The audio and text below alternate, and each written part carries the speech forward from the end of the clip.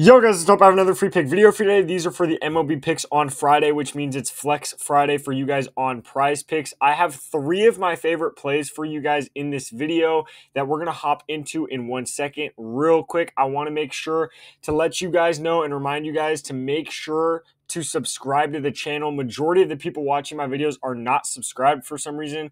I post these videos every single day to help you guys out and give you guys free player props. So just make sure you guys are subscribed to the channel so you don't miss any of the plays. It's going to help you guys out. So don't miss any of the plays. Just subscribe to the channel to make sure you don't miss them. And then also go ahead and drop a like on the video. I'd really, really appreciate it. But let's hop into it. So obviously, like always, let's recap this last game on uh, Friday, or sorry, Thursday. So right here again, this is now the fifth video in a row that we went one for one. I I can't for some reason, for the life of me, this second play, I just I we're cursed. I can't hit it. We're still hitting at least one play every time. It's not like we're going 0 for 2. We're still doing decent. It's just for some reason this second play we're cursed right now, man. However, those are that is just on the YouTube plays. VIP is still doing really well. This is from the other day where we went six for eight, and then today again we went five for eight, but we were super close. We honestly swear to God we should have gone seven for eight in VIP today. Still went five for eight, so not horrible, but I still like to keep ourselves at at least six out of eight, at least at that standard. But decent day here. So VIP is actually doing really really well this week. So you guys can get in VIP for free. By the way, my VIP is just a complete tool. So basically every single day I send out an extra anywhere from seven to 10 plays usually of my favorite MLB plays of the day. And then you guys can use them how you want to use them. So, like this, the other day I sent this out. You guys got six more plays that hit. Today I sent them out. You got another five plays that hit almost six or seven extra plays that hit. So it's another tool for you guys to use when you're betting. All you have to do to get VIP, I'm giving it away for completely free. Like it is 100% free. All you guys have to do to get in it for free is download one of these apps and use my code on one of the apps. You don't have to get both. You just either have to download Sleeper with code GHOST and then deposit at least 10 bucks. So you have to download the app with the code and then just deposit at least 10 bucks. They do match your first deposit up to 100 bucks. So you could get 100 free bucks.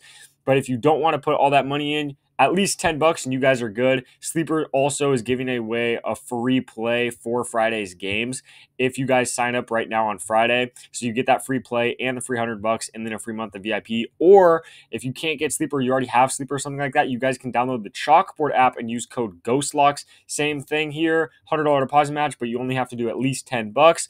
That is code GHOSTLOCKS though. So Make sure when you download these apps that you use the correct code on the correct app. And then after you get set up on these apps, either drop a comment on this video, email me, DM me on these apps, DM me on Instagram. Doesn't matter. Let me know some way, somehow, and I will reach out to you guys and send you the link to free VIP. I'm not worried about that. Literally, once people sign up, it takes like 10 minutes for me to reach back out and send them a link to VIP. So just make sure you guys get set up on the app with at least 10 bucks and the correct code. Let me know, and I got you guys with the free month of VIP.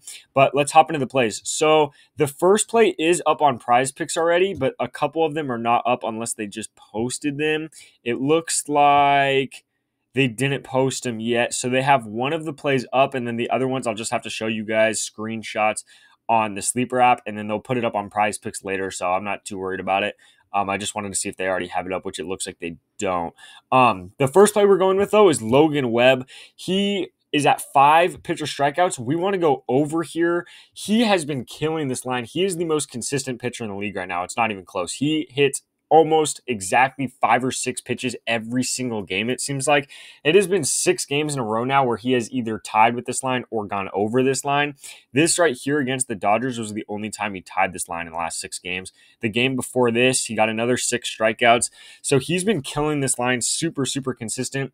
Anytime I see Logan Webb's line anywhere under five and a half, I'm slamming the over every single time. I don't care who the match. I literally could not care less who the matchup is. I'm slamming the over. Throughout the entire season, it's not only just the last games. It's literally throughout the entire season. He is so consistent. The least amount of strikeouts he's had in a game this whole season is three. That only happened one time, and it was towards the beginning of the season. Other than that, he's had like two other games where he only got four. But then besides that, like the 10, 12 other games, he's gotten at least five every single time. So Texas is a decent matchup. They're not a horrible team or anything like that. They are a solid matchup. But at the same time, the Dodgers are a great matchup. Mets are a great matchup. Yankees are a great matchup. And he's still racking up five, eight, six strikeouts against them. I am not too worried. This is on the road. Throughout like the beginning of the season, he was a little bit worse on the road, but now throughout the last I would say basically since this uh, Pittsburgh game right here, he's been fine on the road. He's kind of coming back and he's perfectly fine on the road. So I'm not even worried about that either. Again, I don't care who the matchup is. I'm taking his over if it's anywhere under five and a half. I'm literally I'm taking the over. I don't care. This might tie at five, but even if it ties, I don't care. Something like Flex Friday, if a play ties, it's not the end of the world anyway. So I still like this line at five. Um, on pri or sorry, on sleeper and chalkboard, this line's at four and a half right now. So I love this line at four and a half. Absolutely love that line at four and a half. Again, five, perfectly fine. It's still cool. But four and a half is stupid. That's basically, I mean, in my mind, I don't want to jinx it, knock on wood. In my mind, that's a free play when we're talking about Logan Webb and how consistent he is. That's damn near a free play. So I love that play. Um, not to mention, he also gets like 100 pitches a game. They do not care. They will throw, they'll keep him in the game for 110 pitches. They don't give a damn. So I really, really like Logan Webb over there. And then the other plays, uh, let I'll check if it's up on Prize Picks so I could show you guys there, but I don't think it is. We got Allen is the next play here. He's not up yet, so we'll just show you here again. This isn't up on Prize Picks at time of recording, but they're going to put it up later. They just take a long time to put their plays up, so it's hard for me to get the plays out, um, at least to show you guys on Prize Picks. So we're just going to show you on Sleeper right here. We're going Allen under four and a half strikeouts right here. He's playing Miami, so the matchup's really good. Miami's very, very good this season at not striking out. So I do have faith and trust in Miami that they can get this done and not strike out five times against Allen here.